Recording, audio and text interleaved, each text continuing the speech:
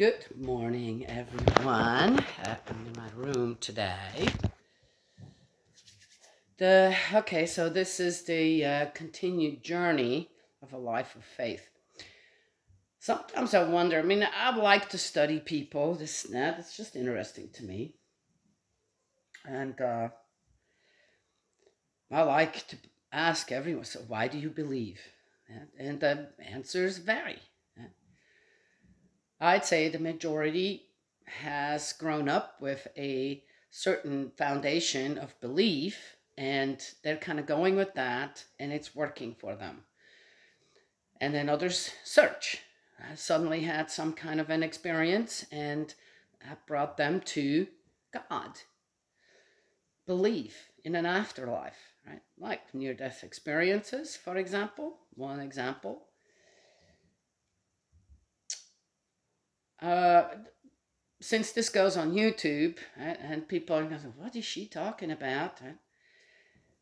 I found true parents. The, the second coming after Jesus has already happened in the form of a man from Korea, and his name is Sun Myung Moon. And he got, as a teenager, and a ages vary. it seems like the younger the better. so depends on whose accounts you read. He's 17, 16, 15, you know, uh, maybe at one point he'll be five. Okay. he was a young man. Uh, no doubt that uh, uh, Jesus will have approached him at a time where Sun Myung Moon was capable of this good decision making and has already shown in you know, his life as growing up as a child this, that that uh, he is capable uh, to take over the mission of Jesus. Well, what, what what are we talking about here? Well, it shouldn't be so difficult to understand that human beings are here in the world for one thing eh? that is, uh, okay, living together, enjoying earth, God's creation, but also to procreate. Well, Jesus never did that. Eh? Families work together as families, love each other as families. That's one way to give back to God, right? Yes, the lonely being out in the universe or who knows where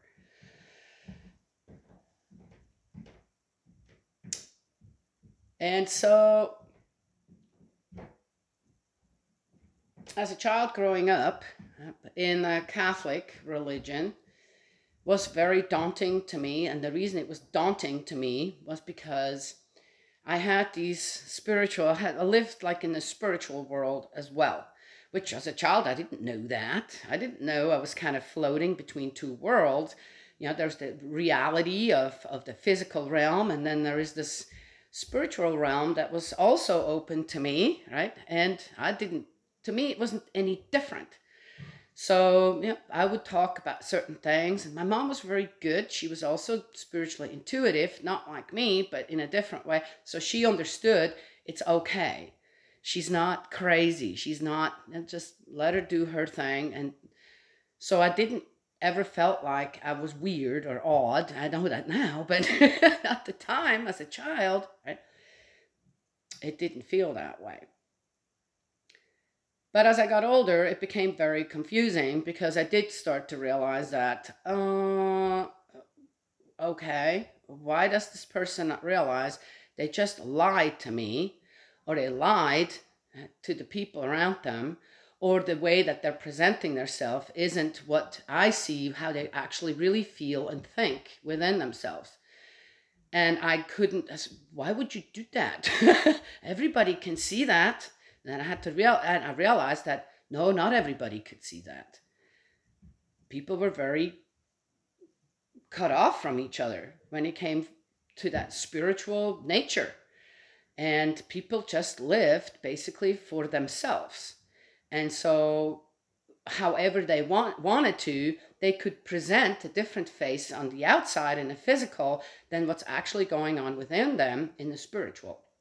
It was very confusing to me as a child. And I didn't have a mentor or who says, okay, all right, all right, all right. You've got some, you have a gift, you have a special talent, and there's a reason for that. There was nobody there telling me that. When I questioned one time a priest about something, he says, You don't have enough faith. I'm going, Huh? What does that have to do with faith? I know it's not as you say, I know that my reasoning, my experiences with spirit world are telling me something different about this particular part in the Bible, and yet you're telling I don't have enough faith, but I already know the truth. I've I've seen the truth, I experienced the truth, and so there wasn't anyone that I felt or was like me, and it became very confusing for me. Uh, as a teenager, uh, yeah, I did. I smoked pot. I smoked marijuana. Uh, got into that crowd, um, and it was great. It was absolutely great for me. Uh, uh, uh smoking a joint was it cut off all the spiritual anything spiritual was just cut off, and I was just a regular person. Yeah, I really liked that. I liked not con- continuously always being right taught from spirit world. And that's what I was. I was continuously always taught from spirit world, but in a way that I didn't understand. It's like I was supposed to read and and do math, yeah, at a very early age without anyone guiding me exactly on what how that process right, is actually how that unfolds. Interestingly enough, that I don't remember anybody teaching me how to read or do math. I just went to first grade and uh, I already knew everything. I could already, it was already all there. Uh, whatever was on the board, I could, it, I had no problems on understanding anything. I mean, it was all already there. I don't know when I started to read, uh, but I do know that at a very early age, uh, six, seven, eight years old, I was already reading chapter books without pictures. Anyway, so, and so on. And it went on as I grew up, grew out of teenage, being a teenager. Things didn't really change, except for I knew I learned how to cut off with uh, just marijuana. I never did anything else. Uh, uh, this part of my life that wasn't a part of most everyone around me, at least from what I knew. And it was kind of liberating. I felt like I was living my life for a change rather than everyone else's with their thoughts, especially their lies and their deceit that I could see, feel. Right? It's very difficult. People love fireworks, right? Not me. I never loved fireworks. It was, it was, oh my God, it's like a punishment that I had to stand within a throng of people and, uh, and watch fireworks. And there's all this, all this stuff that went on spiritually around me because of the energy of the fireworks that was in the crowd was really enhanced. And it was just daunting to me. It's like, right, it squeezed my heart and it, it just, and I couldn't wait to get out of it. I couldn't wait. So even as a child, I liked being by myself. Peace and quiet, right? Then uh, uh, uh, made a trip to the US and I stayed. Uh, and I met true parents after I was already married and had a child. Why that was, that it was at that time, rather than me meeting two parents and becoming as a single person, uh, uh, an entity there in the church, in the community, in the in the in the movement, and would be able to go out and fundraise and go through all this what some people call a full member. Uh, I don't know. It was just the way, but to that's that was God's way for me to stay, and it's a very it's a very interesting story. It's my story. Uh, and uh, and I don't think that anyone should belittle someone else's story of faith. Does it have to do within one organized religion or another? But some people, and especially in this group that I will share this to, they feel they have the right to do that. It's very sad. It's very sad. Thankfully, I'm, I'm uh, secure enough in my faith. I know what my path is. That that doesn't really affect me, but I have to question a person like that because what are you doing to someone who's not at the level, spiritual level that I am at? To belittle someone for the service to God to parents, their brothers and sisters in faith, eh, regardless of what religion they are in, that doesn't deserve belittling like that just because you don't like what I have to say. What I have experienced. It's not right. So when I met True Parents and went to the first three day workshop and then a seven day workshop, and then started my service within the movement, this and that, with all kinds of different things. Um, and especially reading the Divine Principle, it was like the answer to my prayers. What is my purpose with all this extra stuff in my life? I know what people don't have. It's amazing. To me, it was amazing. To finally, just the three day workshop, to me, it's like, oh my gosh, this is like I know I've lived in spirit world as well. But suddenly the doors of heaven opened. The communication became something different. Because though I didn't need the light bulbs to learn how to read or do math or other things here on earth, I needed the light bulb to go on eh, in for me in spirit world. With then the learning process, eh, what I was actually capable of within that learning process and to understand on why I, I could experience both worlds in the way that I did. It was like, it was manna from heaven to me. Incredible. And it was true parents who did that. It wasn't just true father, it was true mother as well. It was amazing. It was just amazing to me. So, uh, okay, so being in a movement like that, so you think I didn't see that there was some controversy going on with the members and the, you know, the, the continues, the continued, you know, you know, power and money and greed and this was there too. It, it didn't matter, but that's not, that's not what I, why I was there. I knew I was in the right place. I knew I was with the right people.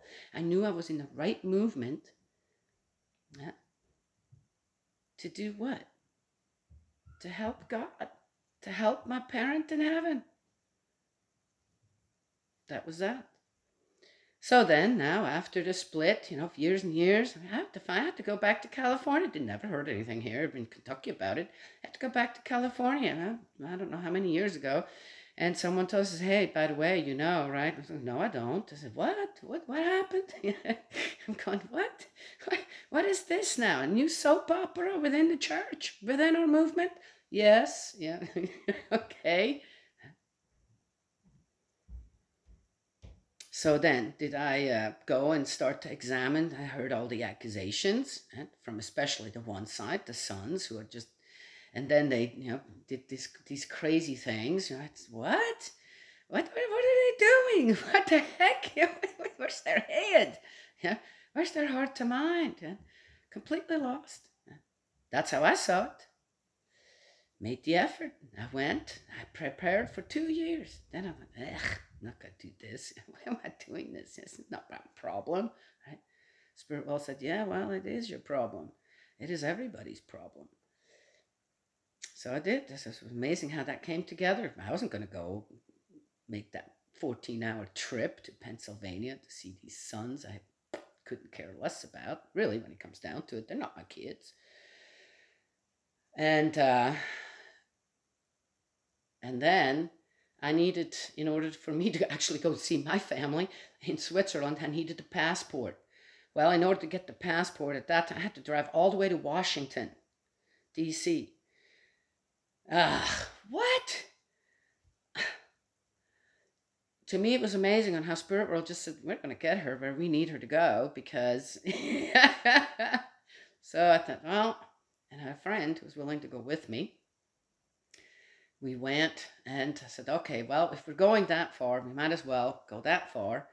And my two year prep, which was a blanket that I made, uh, a quilt blanket for every child of true parents, true parents, and Jesus, and all of the ones that had passed away as well. And um, and and I added a herb that went with each child and true parents and my brother Jesus as well. And then I had to, I, okay, so I had these gazillion blankets with me. Was that 17 of them or something? I think it was 17. And went up there. Yeah, first to Washington, D.C., everything went great there for some reason I missed that one brother in Maryland, which I thought was in Washington, D.C. We went to the church there. It was sad to see in what kind of disrepair that church was in, especially on the outside. Uh, but beautiful, beautiful building, you know. I mean, oh, sheesh, you know, this is just like I wanted to stay there and fix up the outside real nice, you know, with some flowers or, gosh, grow vegetables, you know, but to just see it so drab, you know, I didn't like that. I didn't like that. But anyway, it wasn't, I just looked and going, yeah, okay. Kept on going, got there, and that was interesting on how the blankets were delivered.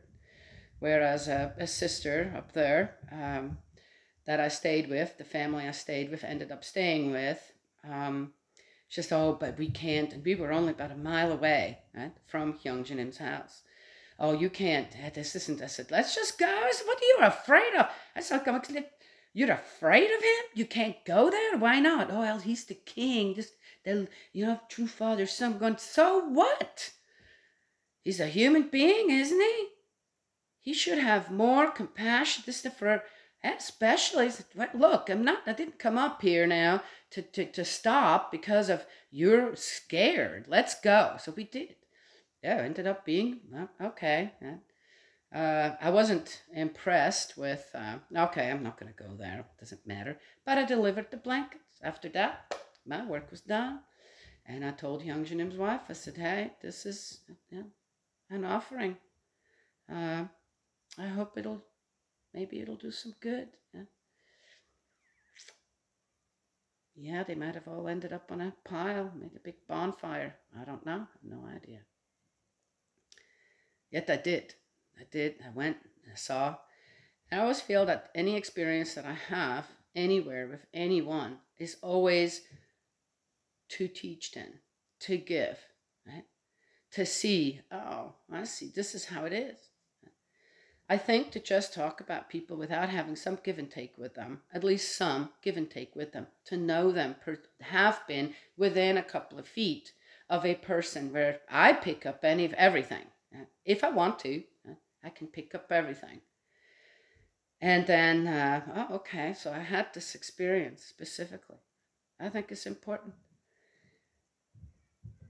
I've learned to never ever just follow someone talking, saying certain things, especially when it is about others, um, without having had some personal experience myself.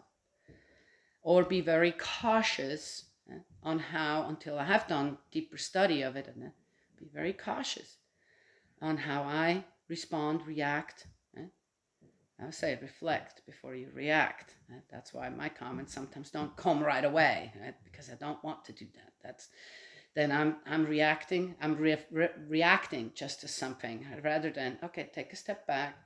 How does this? How do, does the person really mean that? And then, if there is a need for a response, give that. Often it's not even me it's spirit world trying to talk to them through their ancestors this not it's yeah i know I, yeah that's just me okay in any case i went home it was sad i went home and i was very very sad i remember how excited i was ended up getting eh, to go and do that and then uh, when i left how sad I was. I was really, really sad. Was very sad. Realizing how detrimental that break,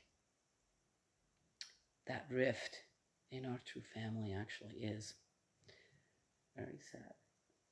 So, will I ever regard True Mother as something else than True Mother? The mother, the wife of the one that Jesus asked to fulfill the mission, to start the family, to give the blessing, to uh, reestablish uh, the people of Israel. Fourth Israel, fifth Israel, I don't know. but uh, God's people. Uh, Christianity isn't enough. Again, because Jesus didn't have a wife, didn't have a family, right? Didn't have children. Then to continue on this uh, superb lineage. Oh, so that Korean dude is it. Well, I'm telling you what, it is worth it to read the divine principle.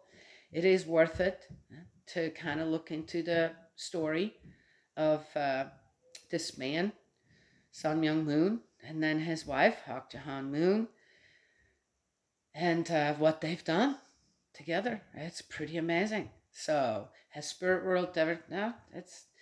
I've never found. Has Spirit World's always directed me with first towards true parents and then with true parents all the way. I'm not going to change. I found through this couple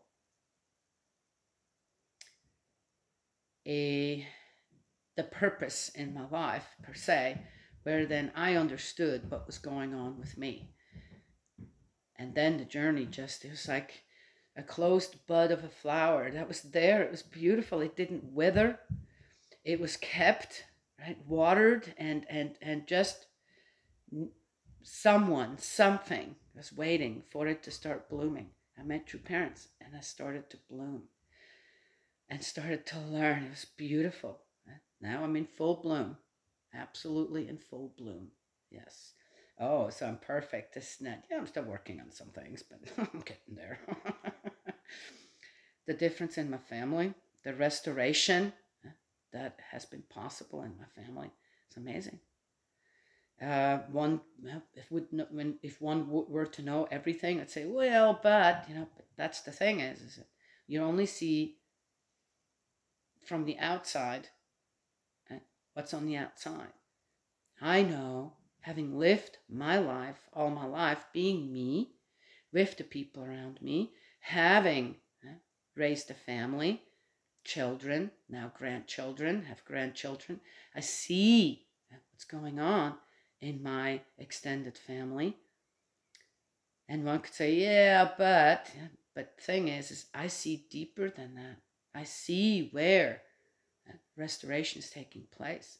And it's not going to happen over just the last 40 or 50 years. It's going to take time.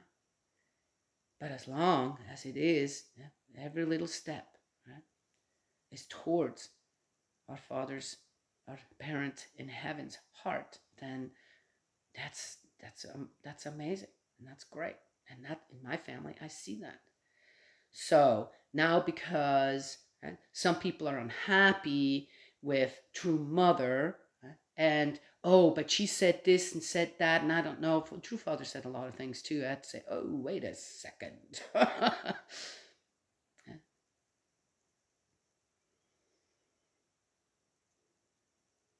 I can't, I will never abandon true parents. I will never. I owe them way too much. I have found nothing in True Mother's words that isn't still a part of the restoring Eve. And then the restoring true parents, the union eh, between Adam and Eve in the beginning it's still going on. And True Mother hasn't failed. Not not at all. Not at all. So uh, if I know people can't see it, I see true father and true mother, and true mother and true father. And uh, together, they're the perfect harmony. They really are. So that's my journey with that. And it doesn't matter what anyone has to say about it. It that will never change for me. I will never, never will I abandon true parents. Never will I abandon true mother. Never, ever will I become a traitor to the people that have saved basically my life.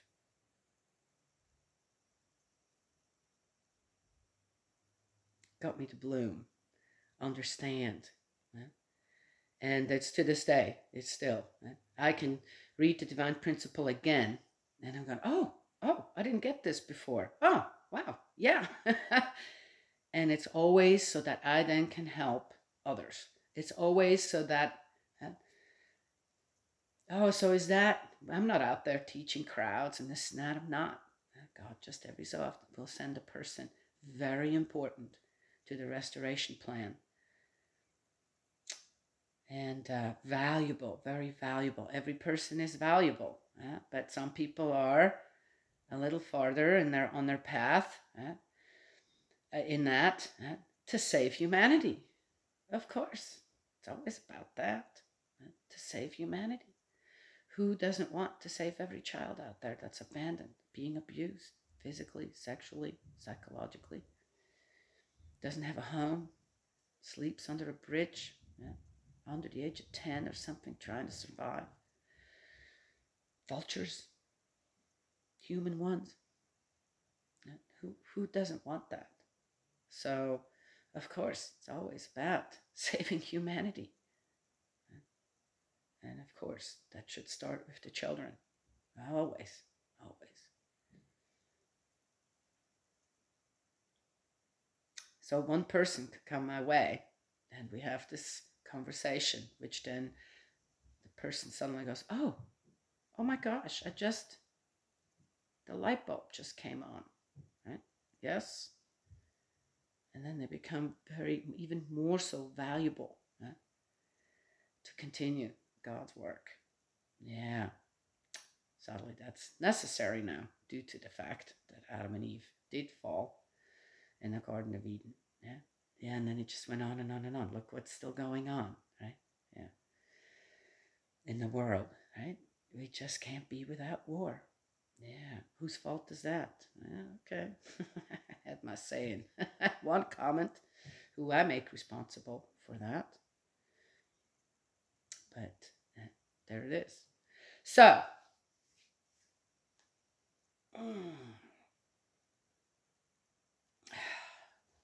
why even be on a site like this? Number one, I have no idea how I got into it. Somehow I so I don't uh, uh, disregard um, my place here till I guess I get expelled, excommunicated. Wouldn't be the first time. And uh, I'm not here to argue over who's right and wrong. It's uh, I don't think anyone has the right to persecute and judge True Mother. No one. Absolutely nobody. If you like what you're doing now with the sons, Hyungjanim and Kukjanim, then uh, then you do that. But as far as um, continuously uh, debating and in a way you try to uh, defend your stance on what, why you're doing what you're doing, and you have to attack another person over it and make totally just slander them for no apparent reason. True Mother is a good woman, a very good woman, a true woman. And what are you doing? What are you actually doing? So does, do you feel better when you when you do that to True Mother? You feel better. Is that it? You sleep better. You don't have to look at your own actions and what you actually are supporting and what you're following. Okay. Well. Right.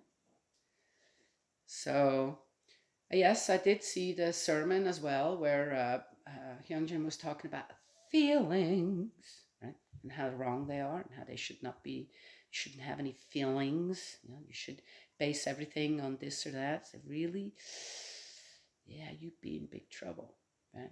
If everyone were to do that, true father would be in big trouble, right? It is a lot about feelings, because how else would you experience spirit world without feeling? Okay. Just saying, right? Yes. So there it is. Uh, someday. There's always hope. There's a reason we have, why we have the word hope, right? Faith. Yes. Uh, just like to mention, yeah, I saw also, yeah, the sermons where the healing thing was happening, and that's all about feelings as well. Yes, he gave that up because he realized it's not working. it's okay. Hey, we're all entitled to try whatever we think we're capable of, right? Yes? Eventually, we're in the groove. Oh, those are my capabilities. That's what I am really good at. Right? Yes? Yeah. It's not being out in the wilderness either, by the way. That those those videos pretty funny to me because I live in the wilderness and have for many years. Yes, of course, in a nice house to snap it eh, with uh, wood heat, eh, water that comes from a spring, eh, not hooked up to whatever, and uh, spent plenty of time out in the wild. And I didn't have all them gizmos that you know, some people can afford. I did just fine too. Anyway, so yeah, it's interesting. He's learning. I was hoping he'd kind of learn. Hyung Jin. I was hoping in the wilderness he would learn right? something.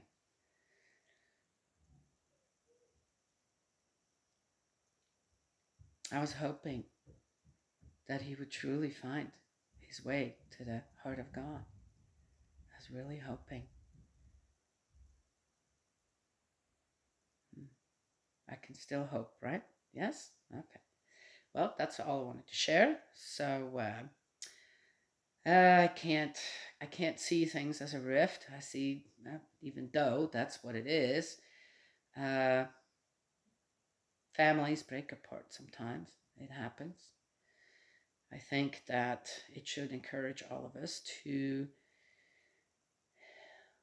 give the people the time that they need I'm good. if they if those boys need that time away, and uh, or forever and do their thing, that's fine. But I don't understand why they uh, persecute and judge their mother the way they do. I have never experienced that with anyone ever in my entire life.